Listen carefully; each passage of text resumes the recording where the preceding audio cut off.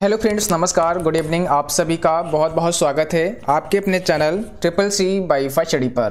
तो आज की इस क्लास में आप सभी के लिए 30 क्वेश्चन होंगे और ये सभी 30 प्रश्न इंटरनेट से संबंधित हैं। तो जिन बच्चों का दिसंबर में एग्ज़ाम है या फिर आगे आने वाले समय में ट्रिपल सी का एग्ज़ाम है, आप सभी के लिए क्लास काफ़ी इंपॉर्टेंट होती हैं। क्लास का जो समय होता है वो रेगुलर आठ तीस पी पर होता है, यानी कि रोज़ रात साढ़े आठ बजे क्लास आपको मिलती है। और आज की एक क्लास नंबर फोर होगी। इससे पहले के तीन क्लास हम आपको करा चुके हैं। अगर आपने वो तीन क्लास नहीं देखे हैं तो उसका लिंक नीचे डिस्क्रिप्शन में भी दिया गया है, जहाँ से आप वो तीनों क्लास देख सकते हैं। चलिए शुरुआत करते हैं। आज का सबसे पहला प्रश्न आपके स्क्रीन पर आ चुका है। सबसे पहला प्रश्न आपसे पूछा है, इंटरनेट में टर्म आईपी का पूरा नाम क्या होता है? ठीक है, आपको आंसर करना है, इंटरनेट में टर्म आईपी का फुल फॉर्म क्या होता है? ट्रांसमिशन कंट्रोल प्रोवाइडर और internet protocol. Transmission control protocol, internet protocol none of these या फिर ऑल ऑफ़ दीज तो ध्यान रखना है टीसीपी आईपी का फुल फॉर्म होता है ट्रांसमिशन कंट्रोल प्रोटोकॉल और आईपी का मतलब होता है इंटरनेट प्रोटोकॉल। तो यहाँ पर हमारा बी ऑप्शन राइट होगा, ट्रांसमिशन कंट्रोल प्रोटोकॉल और इंटरनेट प्रोटोकॉल। ठीक है? चलिए क्वेश्चन नंबर अगला आपके सामने है और यहाँ पर आपसे पूछा है इंटरनेट बैंकिंग का अर्थ क्या होता है? इंटरनेट बैंकिंग का अर्थ पूछा है, नेट पर बैंकों की बैठक, नेट प्रैक्टिस, इंटरनेट के ज़रिए बैंकिंग या फिर ऑल ऑफ़ दीज, उपरोक्त में से सभी। इंटरनेट बैंकिंग से क्या मतलब होता है, क्या अर्थ होता है? इंटरनेट बैंकिंग का मतलब होता है, इंटरनेट के ज़रिए बैंक, यानी कि सी ऑप्शन यहाँ पर आपका करेक्ट हो जाएगा, इंटरनेट के ज़रिए बैंक, ठीक है? अगला क्वेश्चन आपसे पूछा है, निम्नलिखित में से कनेक्टिविटी का उदाहरण कौन सा है? ठीक है कनेक्टिविटी का एग्ज़ाम्पल कौन सा है? Internet floppy disk power card या डाटा यहाँ पर आपका सही जवाब क्या होगा? इंटरनेट आपका राइट आंसर हो जाएगा ऑप्शन पहला, ठीक है? अगला क्वेश्चन पूछा है ईमेल में ट्रैश फोल्डर से क्या समझते हैं? ईमेल में जो ट्रैश फोल्डर होता है, इस ट्रैश फोल्डर से आप क्या समझते हैं? ऑप्शन है, इसमें भेजे गए मेल होते हैं, इसमें वायरस होते हैं, इसमें डिलीट किए गए मेल होते हैं, या फिर इसमें से कोई नहीं। तो जो ट्रैश फोल्डर होता है, इसका क्या काम होता है? तो यहाँ पर आपका सही जवाब हो जाएगा सी। इसमें डिलीट किए गए मेल होते हैं। जो भी मेल आप डिलीट कर देते हैं वो आपके ट्रैश फोल्डर में चले जाते हैं। तो सी ऑप्शन आपका यहाँ पे करेक्ट है। और अगला क्वेश्चन आपसे पूछा है डैश ऐसे डिवाइस हैं जिनका प्रयोग टेलीकम्युनिकेशन लाइनों पर डाटा ट्रांसमिट करने में किया जाता है या करने के लिए किया जाता है। डैश ऐसे डिवाइस हैं जिनका प्रयोग टेलीकम्युनिकेशन लाइनों पर डाटा ट्रांसमिट करने के लिए किया जाता है। ड्राइव्स ड्राइव पेज मॉडम या इनमें से कोई नहीं। तो यहाँ पर हमारा सही जवाब होगा मॉडम ठीक है, ध्यान रखना है ऑप्शन नंबर सी करेक्ट हो जाएगा मॉडम चलिए, अगला क्वेश्चन आपको बताना है और यहाँ पर आपसे पूछा है अनसोलिस्टेड ईमेल क्या दर्शाते हैं? अनसोलिस्टेड ईमेल को क्या कहते हैं? ठीक है?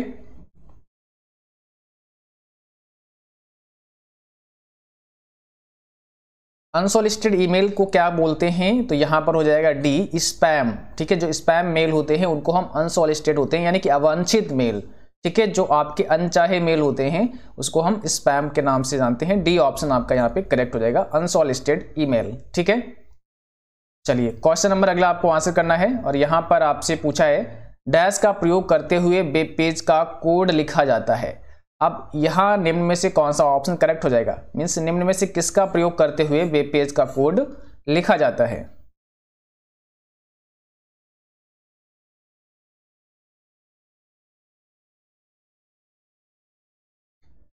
तो यहाँ पर हमारा करेक्ट आंसर होगा option B H T M L क्योंकि आपको पता है एच टी एम एल के प्रयोग से ही आप वेब पेज को डिज़ाइन करते हैं, है ना? वेब पेज का कोड लिखते हैं तो यहाँ पर हो जाएगा एच टी एम एल और एच टी एम एल का फुल फॉर्म क्या होता है? हाइपर टेक्स्ट मार्कअप लैंग्वेज इसको भी ध्यान रखना है हाइपर टेक्स्ट मार्कअप लैंग्वेज होता है एचटीएमएल का पूरा नाम। अगला क्वेश्चन बताइए। एक पॉइंटर डैश पर पोजीशन किया जाता है, तब इसका आकार हाथ जैसा हो जाता है। एक पॉइंटर कहाँ पर पोजीशन किया जाता है, तब इसका आकार हाथ जैसा हो जाता है। Grammar error hyperlink screen tip या spelling error question number eight का सही जवाब क्या होगा? तो यहाँ पर ऑप्शन बी हो जाएगा आपका हाइपरलिंक। जब आप हाइपरलिंक पर पॉइंटर ले जाते हैं तो वहाँ पर उसका आकार, यानी कि पॉइंटर का जो आकार होता है, वो कैसा हो जाता है? हाथ जैसा हो जाता है हैंड शेप में आ जाता है। ठीक है? तो वी ऑप्शन आपका यहाँ पे करेक्ट है। चलिए, क्वेश्चन अगला बताइए। जब इंटरनेट का प्रयोग संदेश प्रेषित करने में किया जाता है तो यह सुविधा कहलाती है। जब इंटरनेट का प्रयोग संदेश प्रेषित करने में किया जाता है, तब यह सुविधा कहलाती है।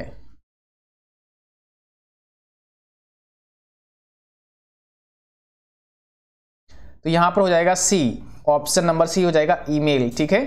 ऑप्शन नंबर सी हो जाएगा ईमेल और अगला क्वेश्चन आपको बताना है। एचटीएमएल का पूरा नाम क्या होता है? एच का पूरा नाम क्या होता है? यहाँ पर कौन सा करेक्ट आंसर होगा? और देखिए, जिन बच्चों का दिल्ली पुलिस का एग्ज़ाम है, ठीक है, या जो बच्चे यूपी पीसीएल एग्ज़ाम की तैयारी करते हैं, जहाँ पर कंप्यूटर पूछा जाता है तो उनके लिए भी क्लास काफ़ी हेल्पफुल होती है। आप सभी क्लास कर सकते हैं। एस का पूरा नाम आपको यहाँ पे बताना है।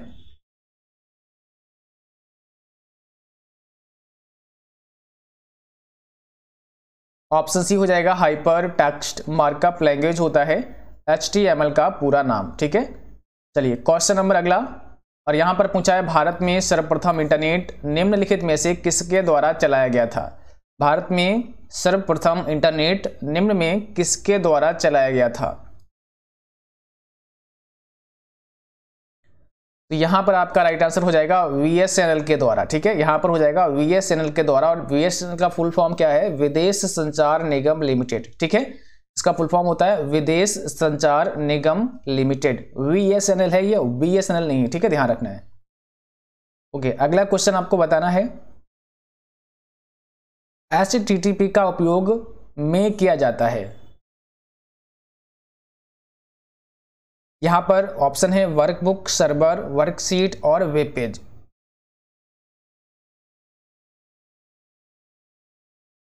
तो एच का उपयोग किसमें होता है? वेब पेज में होता है। ऑप्शन नंबर यहाँ पर हो जाएगा डी आपका, ठीक है? ध्यान रखना है, वेब पेज में एच का प्रयोग होता है। और एच का फुल फॉर्म क्या होता है? इसका मतलब होता है hyper text transfer protocol. Hyper text transfer protocol होता है इसका पूरा नाम। अगला प्रश्न है डब्ल्यू डब्ल्यू डब्ल्यू डायस प्रोटोकॉल का उपयोग करता है। डब्ल्यू डब्ल्यू डब्ल्यू किस प्रोटोकॉल का उपयोग करता है? F T P, H T T P, W V C या एम टी पी? यहाँ पर भी आपका ऑप्शन हो जाएगा V. H T T P protocol इस्तेमाल करता है डब्ल्यू डब्ल्यू डब्ल्यू, ठीक है? जैसा अभी बताया, एच टी टी पी का फुल फॉर्म क्या होता है? और अगर आपको मिलता है H T T P S तो यस का मतलब हो जाएगा फिर सिक्योर, ठीक है? तो यहाँ पर हो जाएगा secure. S T T P S का मतलब हो जाएगा सिक्योर, इसको भी आपको ध्यान रखना है। अगला क्वेश्चन है, एक वेबसाइट समूह है, डैश, वेब पेजेज या एस्टेमल डॉक्यूमेंट का, ग्राफिक फाइलों का लॉक कुंजी, उपयुक्त सभी, एक वेबसाइट निम्न में से किसका समूह है? तो सही जवाब है वेब पेजेज या फिर एल डॉक्यूमेंट का समूह होता है एक वेबसाइट, ऑप्शन पहला करेक्ट आंसर है आपका। और अगला क्वेश्चन पूछा है, स्पैम निम्न में किससे कहते हैं? स्पैम निम्नलिखित में से किसे कहते हैं? Delete email, unsolicited email, incoming email या इनमें से कोई नहीं। स्पैम जो होते हैं वो निम्न में से कौन से होते हैं? जैसा कि अभी आपको बताया था, स्पैम क्या होते हैं? जो आपके अनसॉलिस्टेड ईमेल होते हैं, वही आपके स्पैम होते हैं। जो अवांछित मेल आ जाते हैं, उनको हम स्पैम के नाम से जानते हैं, ठीक है? तो यहाँ पर हो जाएगा आपका ऑप्शन नंबर वी करेक्ट अगला क्वेश्चन आपको बताना है। कोई भी पेज एक्सेस करने पर सबसे पहले जो पेज या मेन पेज दिखाई पड़ता है, उसे क्या कहते हैं? जब आप किसी भी वेबसाइट को एक्सेस करते हैं, किसी वेबसाइट पर विज़िट करते हैं, जो उसका पहला पेज होता है, उसे क्या कहते हैं? तो ध्यान रखना है, यहाँ पर सही जवाब हो जाएगा होम पेज ठीक है? पहले पेज को हम होम पेज के नाम से जानते हैं। अगला क्वेश्चन आपको बताना है, दुनिया का सबसे पहला नेटवर्क कौन सा है? ठीक है? दुनिया का सबसे पहला नेटवर्क डैश है। अब यहाँ पर पूछा है NSF net ARPA net internet या फिर none of these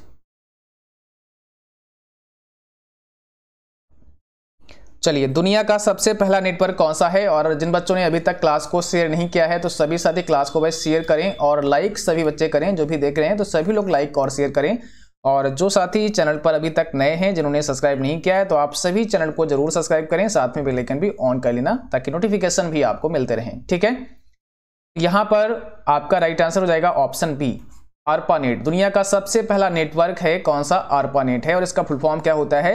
Advance research project agency network होता है, इसका पूरा नाम। ठीक है? दूसरा एनएसएफ नेट की अगर बात करें तो इसका फुल फॉर्म होता है national science foundation network national science foundation network होता है, इसका पूरा नाम ध्यान रखना है। और इंटरनेट को आपको पता होगा इंटरनेशनल नेटवर्क होता है, ठीक है? चलिए क्वेश्चन अगला आपको बताना है। ओआरजी का संबंध किस क्षेत्र से है? ओआरजी का संबंध किस क्षेत्र से है? शिक्षा, गैर व्यावसायिक व्यावसायिक या संगठन। तो यहाँ पर हो जाएगा डी संगठन। ठीक है ऑर्गेनाइजेशन और अगला क्वेश्चन आपको बताना है डॉट कॉम डोमेन का संबंध है। व्यक्तिगत विशेषता, कला से संबंधित, व्यापारिक या इनमें से कोई नहीं। डॉट कॉम डोमेन का संबंध निम्न में से किससे है? तो यहाँ पर हो जाएगा सी ठीक है, व्यापारिक। कॉमर्शियल हो जाएगा आपका, यहाँ पर तो सी ऑप्शन आपका करेक्ट है। और अगला क्वेश्चन आपको बताना है, भारत में इंटरनेट की शुरुआत कब हुई? भारत में इंटरनेट की शुरुआत कब हुई? कौन सा यहाँ पे करेक्ट आंसर होगा? ध्यान रखना है, पहला ऑप्शन सही हो जाएगा 15 अगस्त उन्नीस को। 15 अगस्त उन्नीस को। 21 में बताइए, संचार के उद्देश्य से कंप्यूटर में क्या प्रयोग होता है? संचार के उद्देश्य से कंप्यूटर में क्या प्रयोग होता है? सही जवाब है ऑप्शन डी मॉडम ठीक है मॉडम का इस्तेमाल होता है। और अगला क्वेश्चन आपको बताना है। इंटरनेट से संबंधित एफ़ शब्द का पूरा मतलब क्या होता है, फुल फॉर्म क्या होता है? एफटीपी का मतलब आपको आंसर करना है, क्या होता है? तो यहाँ पर हो जाएगा फ़ाइल ट्रांसफ़र प्रोटोकॉल। ऑप्शन पहला हो जाएगा फ़ाइल ट्रांसफ़र प्रोटोकॉल होता है एफटीपी का पूरा नाम। ठीक है? और अगला क्वेश्चन आपको बताना है www से शुरू होने वाला पता किससे संबंध रखता है? जो पता www से शुरू होता है, वो किससे संबंध रखता है? मॉडम से, इंटरनेट से, टेलीफोन से, वेबसाइट से। तो सही जवाब हो जाएगा डी आपका, वेबसाइट से, है ना? जो पता www से स्टार्ट होता है, वो वेबसाइट से संबंध रखता है। ऑप्शन डी आपका यहाँ पे करेक्ट है। और अगला क्वेश्चन पूछा है, दूर बैठे व्यक्ति इंटरनेट के द्वारा संपर्क करके वस्तुओं एवं सेवाओं वस्तुओं एवं सेवाएँ खरीद, बिक्री तथा लेन देन का कार्य किस तरह से करते हैं? ई कॉमर्स के माध्यम से, इंटरनेट के माध्यम से, ईमेल के माध्यम से या इनमें से कोई नहीं।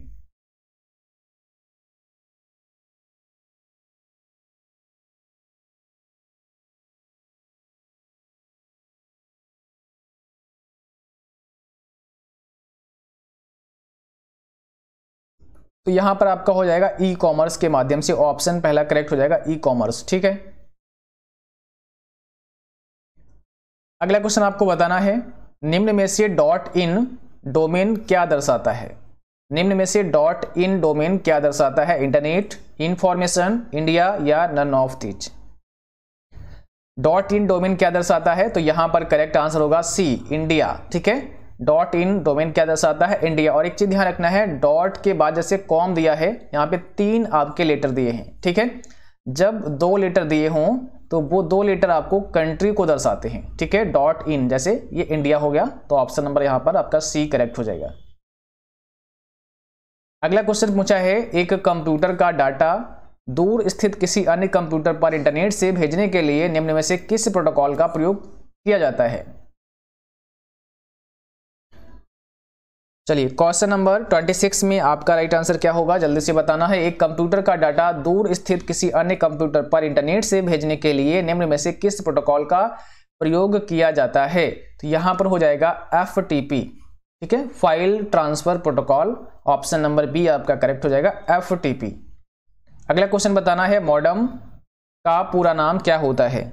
मॉडम का पूरा नाम यानी कि फुल फॉर्म आपको बताना है। ध्यान रखना है मॉडुलेटर डिमॉडुलेटर होता है मॉडम का पूरा नाम ऑप्शन नंबर पहला हो जाएगा। मॉडुलेटर डिमॉडुलेटर होता है मॉडम का पूरा नाम। 28 में आपको बताना है ईमेल का पूरा नाम क्या होता है। ईमेल का पूरा नाम क्या होता है फुल फॉर्म क्या होता है। ईमेल का पूरा नाम होता है इलेक्ट्रॉनिक मेल तो ऑप्शन नंबर सी हो जाएगा आपका राइट इलेक्ट्रॉनिक मेल होता है ईमेल का पूरा नाम। और अगला क्वेश्चन आपको बताना है इंटरनेट का पूरा नाम क्या होता है? फुल फॉर्म क्या होता है? इंटरनेट का फुल फॉर्म क्या होता है? यहाँ पर सही जवाब है ऑप्शन बी इंटरनेशनल नेटवर्क होता है इंटरनेट का पूरा नाम, ठीक है? इंटरनेशनल नेटवर्क होता है। अगला क्वेश्चन आपको बताना है गूगल पे सॉरी यहाँ पे है पे ठीक है? गूगल पे एक प्रकार का ई वॉलेट है। सही जवाब करना है गूगल पे एक प्रकार का ई वॉलेट है। ट्रू है कि फॉल्स तो बिल्कुल सही है गूगल पे एक प्रकार का ई वॉलेट है ऑप्शन पहला यहाँ पे करेक्ट हो जाएगा, ठीक है? और आज की क्लास बस यहीं तक थी। उम्मीद है कि आप सभी को क्लास पसंद आई होगी। क्लास अच्छी लगी हो, उसको लाइक करें शेयर करें, और जो भी साथी चैनल पर नए हैं, पहली बार हैं, आप सभी चैनल को सब्सक्राइब करें और बेल आइकन भी ऑन करें, ठीक है? और आप सभी अपने मॉक टेस्ट हमारी वेबसाइट www.triplec पर देते रहें। वहाँ पर आपके लिए ढेर सारे ऑनलाइन मॉक टेस्ट अवेलेबल हैं, जिन्हें आप कर सकते हैं। इसके अलावा अगर आपका कोई भी सवाल है तो आप मुझे मेल कर सकते हैं व्हाट्सअप कर सकते हैं। इसके अलावा आप मुझे, अगर अभी तक आपने इंस्टाग्राम पर फॉलो नहीं किया है तो आप इंस्टाग्राम पर भी फॉलो कर सकते हैं, ठीक है? जिन बच्चों ने टेलीग्राम चैनल ज्वाइन नहीं किया है, आप नीचे टेलीग्राम चैनल का लिंक दिया गया है डिस्क्रिप्शन में, वहाँ से ज्वाइन कर सकते हैं। आज का पीडीएफ का लिंक आपको टेलीग्राम चैनल पर मिल जाएगा, जहाँ से आज का पीडीएफ आप कुछ ही देर के बाद नौ पंद्रह पर डाउनलोड कर सकते हैं। Thanks for watching thank you good night वाल